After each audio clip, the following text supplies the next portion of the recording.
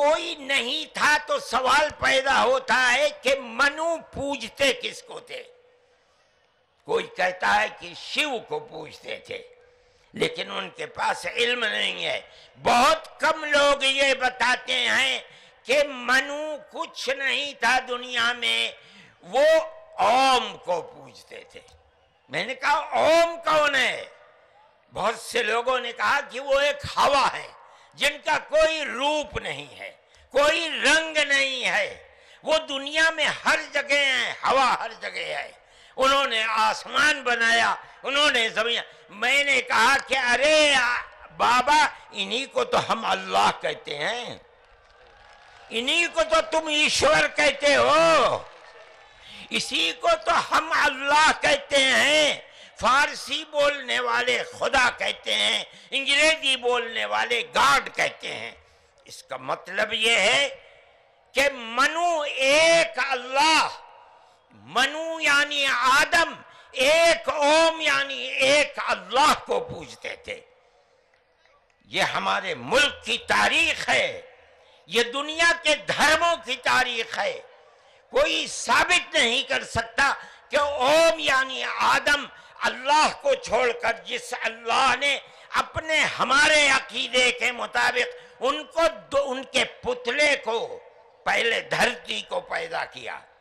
धरती में मट्टी पैदा की और जितने रंग और जितनी तरह की मट्टी थी, सब मट्टी में से थोड़ा थोड़ा लेकर अल्लाह ने, यानी ओम ने, अपने हाथ से आदम यानी मनु के पुतले को बनाया। इसीलिए हदीस में आता है कि जितनी तरह की, जितने रंग की मट्टी थी, आदमी आदम की औलाद, मनु की औलाद, मनुष्य की औलाद वितने ही तरह वितने ही रंग की बदली। कोई मट्टी सख्त है, आदमी के दिल के अंदर सख्ती है, कोई मिट्टी नर्म जैसी मट्टी थी, वैसा ही असर आदम यानी मनु की औलाद के अंदर पाया जाता है। ये हमारे इस धर्म की खसूसियत है। इसका मतलब है कि सबसे पहले ला इलाहा इल्लल्लाह की आवाज़ हिंदुस्तान की धरती पर उतरी है। यहाँ से पैदा हुई है। सबसे पहले मनु ने ओम की इबादत की है। ओम एक है, अल्लाह है एक है, उसका कोई शरीक नहीं है। फिर ये चीज़ चलती रही। ये आदम और ओम का यही अकीदा था। उनसे गलती हो गई। हमारा कुरान कहता है, वो परेशान थे कि मैं अपने अल्लाह से, यानी ओम से बनू से जो गलती हुई है, अपने ओम और अपने अल्लाह से माफ़ कैसे कराऊं? किंतु उसके बाद जो मदनी साहब का वक्तव्य हुआ, हम कोई उससे सहमत नहीं है।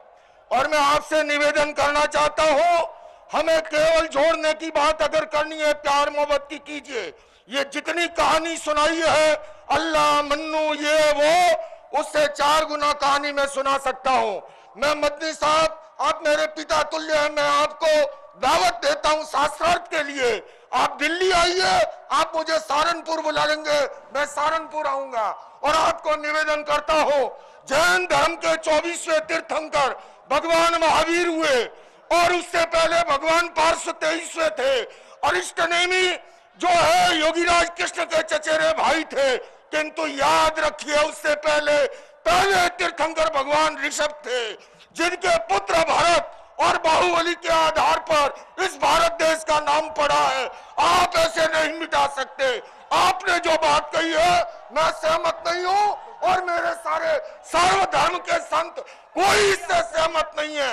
हम केवल सहमत हैं, आपस में मिलजुल के रहे, प्यार से रहे, मोहब्बत से रहे और इसके सिवा ये जो कहानी ओ मन्नू अल्लाह उसकी औलाद ये फालतू की बातें सारा पलीका लगा दिया एकता के सद्भावना के समय यहाँ बात सहमति की नहीं असहमति की नहीं है। हाँ। मुझे लगता है कि थोड़ा समझ का फेर हुआ है वहाँ पर। किसकी? उन्होंने आपस में जिसका भी हुआ तो बाइकआउट करना जल्दबाजी थी? मुझे लगता है कि आप बाइकआउट कर रहे हैं इसका ये नहीं। नहीं मैं किसी चीज़ का बाइकआउट कभी नहीं करता रास्ता बाइकआउट कभी भी नहीं है। हाँ। रास्ता है सहमति। हाँ। रास्ता है संवाद। हाँ। रास्ता है समाधान के के द्वार खोलना। इसलिए तो एक मंच पे हम लोग हैं।